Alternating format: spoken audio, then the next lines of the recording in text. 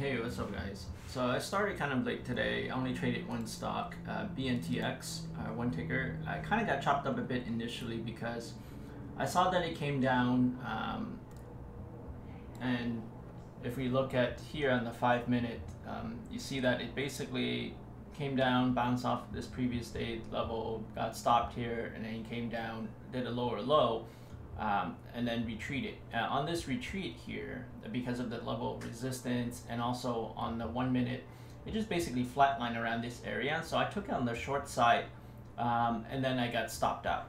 Uh, so on the bounce, I, I got stopped out there. Um, and then it looked like it was going to break out again. So I took it on the short side again just because this seems to be a pretty short stock um, this week.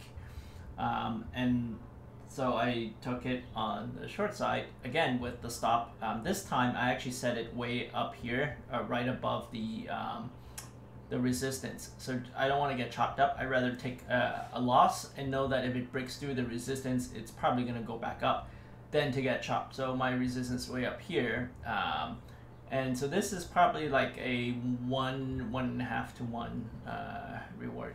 If that's the case, see this is 225.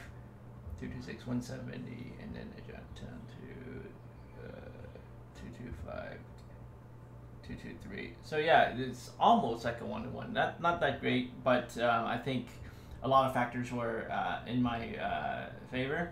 So it did drop, um, and then on the drop, I basically covered because if we were to look at the 15 minute, it was sitting on this level pretty well, this moving average. Uh, it dropped through it, went back up, dropped through it, went back up real quickly. So, and then now it touched it. So on, and this is where I got all out. So that was it.